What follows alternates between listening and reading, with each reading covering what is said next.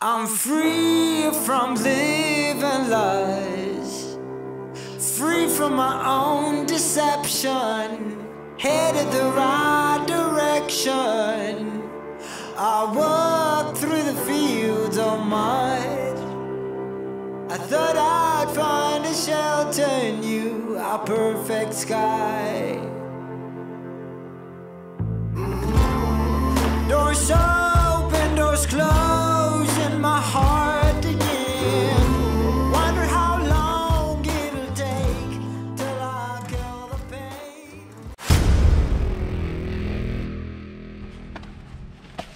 All right, welcome back to American Adventure Lab. I apologize on the delay releasing this video, but I have good reason for that. We've actually moved to southwestern Utah.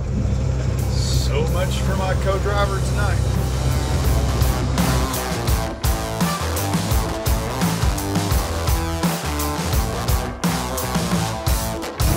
In half a mile, at the traffic circle, take the second exit and stay on Arizona 264 West.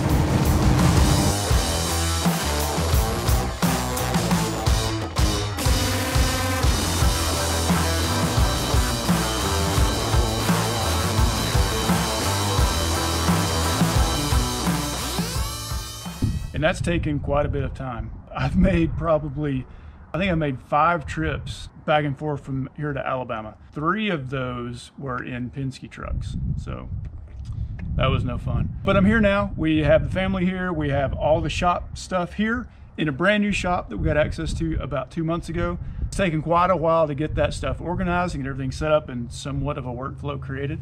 Office is set up and going. So all the CAD is, is flowing. We've got parts being generated, prototypes coming in and out all the time. And I'm excited to finally be in a place where I feel like I can get this stuff done. Got a lot of product ideas floating around in my head. I'm eager to get those out.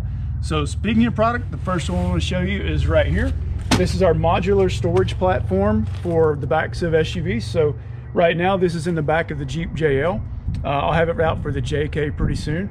So the real concept here is that you start out with a, a very sturdy platform that bolts into the bottom of the, the back of the vehicle.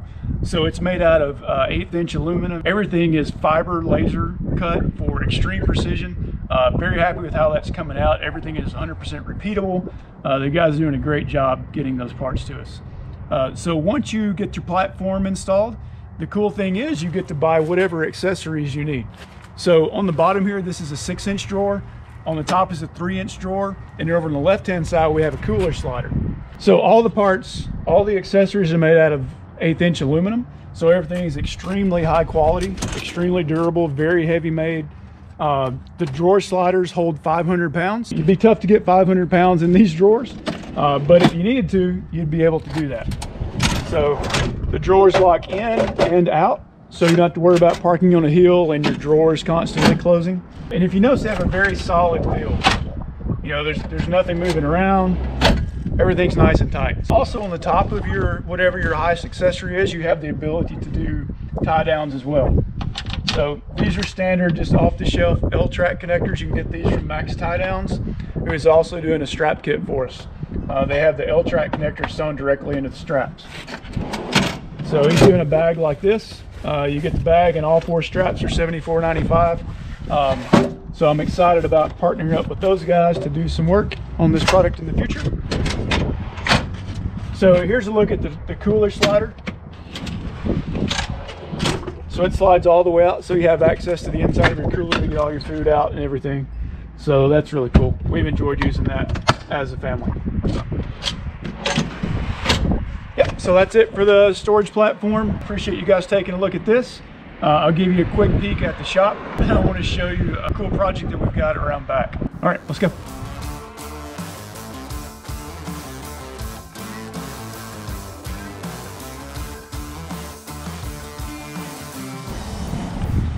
All right, so you guys have seen the chase truck in some videos before, but what you haven't probably seen is this guy here. So this thing started out as a two-wheel drive Jeep JK. It's 07 model, and I bought it specifically to do this project with. I looked everywhere for a two-wheel drive four-door Wrangler. Uh, I don't think there are a lot of them produced, so it's pretty hard to find. But this guy has a Dana 60 in the front, uh, 08 F250. It has a corporate 14 bolt in the rear from an 02 Chevrolet 2500. Running a rock crawler, three and a half inch suspension, uh, coilovers. Let's see what else. Uh, oh yeah, it has a LS3. So it's actually an L92 from a 07 Escalade. Everything was stripped and rebuilt. Uh, it's chock full of comp cams parts, big cam, hydraulic roller rockers, all that kind of good stuff. And it runs very well. It makes very fun noises, if you know what I mean. So right now it's the world's coolest one-wheel drive Jeep. Uh, still have some stuff left to do. The hubs just came in last week. So I have to throw those in, wire up the uh, compressor for the lockers. That's all plumbed in. Get the hydraulic ram on. But yeah, this thing is an absolute blast. So I'll be using it to make some products pretty soon. In the meantime, I'll be driving it and making fun noises. Yeah, that's it for the shop tour. Place is really cool. We've loved uh, moving here to Hurricane and I'm excited to be outside and not be soaking wet with sweat unlike we were in the South. Yeah, thanks for watching. Um, hopefully the next video comes out in the next few days. I've shot a ton of footage over the last few months and I'd like to start getting that out for you guys. So if you have any questions about the product, about the area, just let me know. I'll be glad to talk to you about it. Thanks for watching. Okay, one thing I forgot to mention. So we had Trail Hero here, which is a big off-road event in Hurricane, Utah at Sand Hollow State Park. That was last week. Uh, as part of that, we had several vendor shows set up. So I was able to actually take this system out, get some hands-on feedback, and uh, uh, everything was real positive. So I'm glad you guys came out. I met quite a few of you guys that have been watching the channel. Uh, I really appreciate you coming out and saying hi. Uh, it's humbling to know that, that you're watching this and that you're getting something out of it. Uh, I hope the content gets better as I figure out more of how to do this YouTube thing. So uh, I appreciate you guys coming out and uh, I'm looking forward to seeing you some more in the future. So appreciate it. All right, if you guys notice, this video is not titled or tagged or anything in the description about uh, overlanding or Jeep JL storage platform.